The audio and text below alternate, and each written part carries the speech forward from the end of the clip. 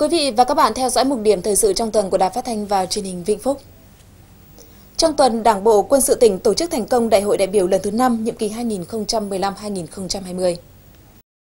Phát biểu tại đại hội, Trung tướng Dương Đức Hòa, Ủy viên Trung ương Đảng, Tư lệnh Quân khu 2 ghi nhận biểu dương kết quả đạt được của Đảng bộ Quân sự tỉnh trong nhiệm kỳ qua và đề nghị Đảng bộ Quân sự tỉnh tiếp tục tập trung lãnh đạo, hoàn thành thắng lợi các nhiệm vụ trọng tâm đã đề ra trong nhiệm kỳ mới tăng cường giáo dục cho cán bộ chiến sĩ nắm vững mục tiêu chiến đấu, có bản lĩnh chính trị vững vàng, chủ động làm tốt công tác dự báo, phối hợp chặt chẽ với lực lượng công an. Trong công tác nắm tình hình, kịp thời phát hiện và xử lý tốt mọi tình huống phức tạp, không để phát sinh điểm nóng.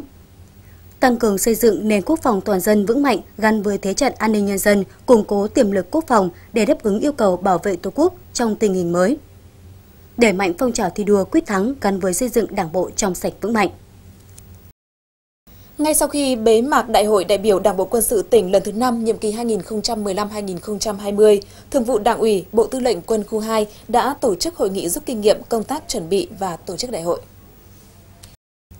Kết luận hội nghị, Thiếu tướng Lê Hiền Vân, Phó Chính ủy Quân khu 2 đánh giá cao công tác chuẩn bị và tiến hành đại hội của Đảng bộ quân sự tỉnh và yêu cầu các đảng bộ trực thuộc quân khu, các đảng bộ quân sự tỉnh trong toàn quân khu 2 rút kinh nghiệm từ đại hội để vận dụng vào điều kiện thực tế của địa phương, đơn vị mình để tổ chức thành công đại hội. Đồng thời tiếp tục quán triệt thực hiện tốt các văn bản hướng dẫn của Trung ương và của quân khu về tổ chức đại hội đảng, từ đó phối hợp chặt chẽ với các ban xây dựng đảng, tỉnh ủy trong công tác chuẩn bị và tiến hành đại hội. Trong tổ chức đại hội phải thực hiện tốt nhiệm vụ thảo luận, đóng góp ý kiến vào các văn kiện của Đảng bộ tỉnh và của Trung ương, làm tốt công tác bầu cử, công tác điều hành đại hội, góp phần vào sự thành công của đại hội. Trong tuần, Đảng ủy Bộ Chỉ huy Quân sự tỉnh tổ chức gặp mặt kỷ niệm 65 năm ngày truyền thống lực lượng vũ trang tỉnh 13 tháng 6 năm 1950, 13 tháng 6 năm 2015. Phát biểu tại buổi lễ, Bí thư tỉnh ủy Hoàng Thị Thúy Lan ghi nhận và đánh giá cao những thành tích đặc biệt xuất sắc của lực lượng vũ trang Vĩnh Phúc qua các thời kỳ, góp phần quan trọng vào sự nghiệp đấu tranh giải phóng dân tộc cũng như xây dựng và bảo vệ Tổ quốc, Nhân kỷ niệm 65 năm ngày truyền thống của lực lượng vũ trang tỉnh nhà, đồng chí Bí thư tỉnh ủy Hoàng Thị Thúy Lan yêu cầu cán bộ, chiến sĩ trong toàn lực lượng phát huy truyền thống vẻ vang của các thế hệ cha anh đi trước, phân đấu rèn luyện, học tập và sẵn sàng chiến đấu, hoàn thành xuất sắc mọi nhiệm vụ mà Đảng, Nhà nước và nhân dân giao phó. Trong tuần, đoàn đại biểu Quốc hội khóa 13 tỉnh có nhiều hoạt động tại kỳ họp thứ 9 Quốc hội khóa 13 các vị đại biểu Quốc hội khóa 13 tỉnh đã tích cực tham gia đầy đủ vào các buổi thảo luận tại hội trường tại tổ, đồng thời đóng góp ý kiến chất lượng vào các dự thảo báo cáo tờ trình, dự thảo luật, trình tại kỳ họp. Tham gia sôi nổi vào hoạt động chất vấn và trả lời chất vấn thành viên chính phủ và các vị bộ trưởng tại kỳ họp. Trong tuần, Ủy ban nhân dân tỉnh tổ chức phiên họp thường kỳ tháng 6 cho ý kiến vào báo cáo tình hình thực hiện nhiệm vụ phát triển kinh tế xã hội 6 tháng đầu năm, phương hướng nhiệm vụ 6 tháng cuối năm 2015, tình hình xử lý nợ động xây dựng cơ bản, thực hiện nhiệm vụ thu chi tài chính ngân sách, sử dụng nguồn dự phòng ngân sách cấp tỉnh 6 tháng đầu năm và một số nội dung quan trọng khác. Kết luận phiên họp, Phó Chủ tịch phụ trách Ủy ban nhân dân tỉnh Nguyễn Văn Trúc yêu cầu các sở ban ngành địa phương tập trung giải quyết những khó khăn vướng mắc trong việc xác định giá đất cho từng dự án cụ thể, tập trung xử lý nợ thuế, chống thất thoát ngân sách nhà nước. Các địa phương sớm thành lập hội đồng thẩm định chủ trương đầu tư cho từng dự án, giả soát lại số nợ động xây dựng cơ bản để có giải pháp giải quyết xong trong năm 2016 tăng cường công tác quản lý nhà nước về đất đai, tập trung giải quyết tốt đơn thư khiếu nại tố cáo, tránh để xảy ra khiếu kiện vượt cấp. Đồng chí Nguyễn Văn Trúc yêu cầu Sở Kế hoạch và Đầu tư, Sở Tài chính trên cơ sở ý kiến đóng góp của các đại biểu hoàn thiện các báo cáo trình Ban Thường vụ tỉnh ủy, Ban chấp hành Đảng bộ tỉnh cho chủ trương giải quyết. Trong tuần, Đài Phát thanh Truyền hình tỉnh đã tổ chức đêm chung kết Liên hoan tiếng hát truyền hình tỉnh Vĩnh Phúc lần thứ tư năm 2015.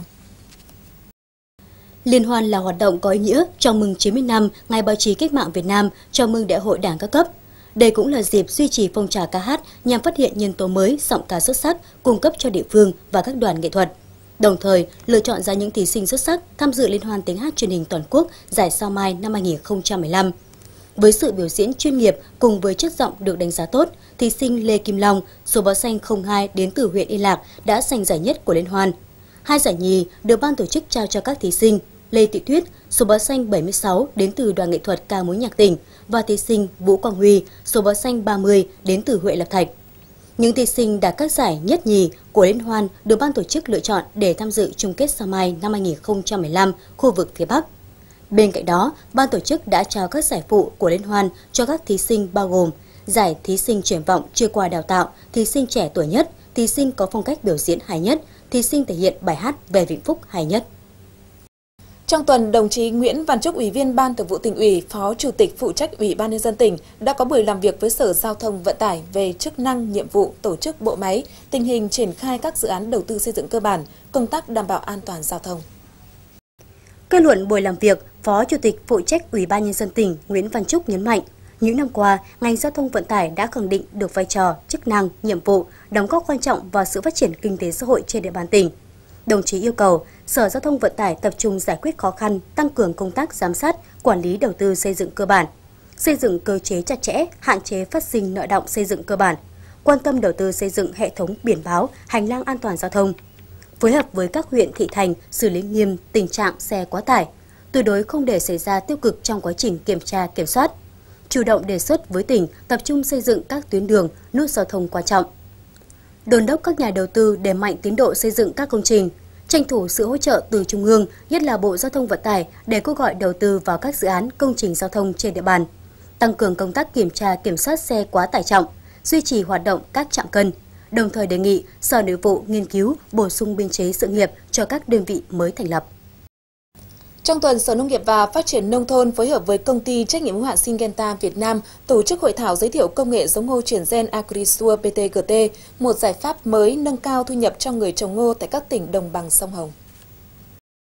Phát biểu tại hội nghị, Phó Chủ tịch phụ trách Ủy ban Nhân dân tỉnh Nguyễn Văn Trúc nhấn mạnh, trồng ngô chuyển gen tại đồng đất Vĩnh Phúc là bước khởi đầu mang lại triển vọng cho phát triển cây ngô vụ đông trên địa bàn tỉnh. Giống ngô chuyển gen Agrisure BTGT là giống ngô có năng suất chất lượng tốt, có thể cạnh tranh trên thị trường. Tại thời điểm tỉnh ta đang chuẩn bị triển khai đề án tái cơ cấu nông nghiệp hướng tới sản xuất nông nghiệp sạch, bền vững. Đây được xem là một trong những giải pháp để nâng cao thu nhập cho người nông dân. Trong vụ đông tới, tỉnh sẽ hỗ trợ mô hình điểm đưa giống ngô chuyển gen vào trồng tại các huyện thành thị trên địa bàn tỉnh và tiến tới trồng đại trà trong toàn tỉnh. Trong tuần, đồng chí Lê Duy Thành, Ủy viên Ban Thường vụ tỉnh ủy, Phó Chủ tịch Ủy ban nhân dân tỉnh đã làm việc với Ủy ban nhân dân huyện Lập Thạch về tiến độ thực hiện xây dựng hệ thống trường học tại xã Liễn Sơn, huyện Lập Thạch. Sau khi kiểm tra thực tế, Phó Chủ tịch Ủy ban nhân dân tỉnh Lê Duy Thành yêu cầu Ủy ban nhân dân huyện Lập Thạch, Sở Kế hoạch và Đầu tư phối hợp chặt chẽ với các sở ngành liên quan, ra soát lại trình tự thủ tục đầu tư, đưa ra kế hoạch thực hiện từng giai đoạn để các công trình trường tiểu học, trung học cơ sở có thể đưa vào sử dụng theo đúng kế hoạch.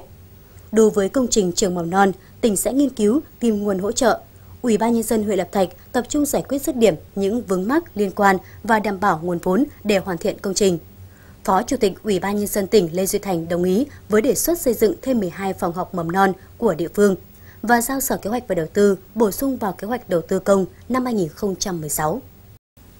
Cũng trong tuần, Ban chỉ đạo thực hiện đề án 05061133 tỉnh họp triển khai đề án tăng cường công tác phổ biến giáo dục pháp luật trên đài phát thanh truyền hình Vĩnh Phúc giai đoạn 2015-2016. Kết luận cuộc họp, Phó Chủ tịch Ủy ban Nhân dân tỉnh Lê Duy Thành nhấn mạnh việc tăng cường tuyên truyền giáo dục pháp luật trên hệ thống phát thanh truyền hình là rất cần thiết. Về nội dung tuyên truyền phổ biến giáo dục pháp luật, cần lựa chọn những vấn đề mang tính thời sự, các luật, văn bản pháp luật mới của Trung ương, của tỉnh đối nhân dân quan tâm để tuyên truyền.